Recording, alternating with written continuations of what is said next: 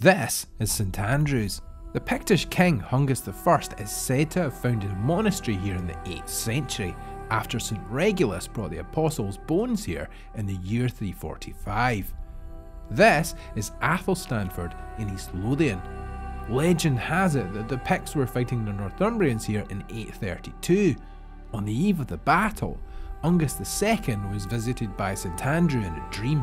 During the battle, the Picts saw a white diagonal cross in the blue sky. The Northumbrians were defeated and their leader, Athelstan, died in the river. It's a good story, but the history is sketchy. So, why is St Andrew our patron saint? During the Wars of Independence, Pope Boniface VIII signed a papal bull in support of Scotland's nationhood. It's thought a big part of the campaign to make him do that could have been St Andrew and those bones.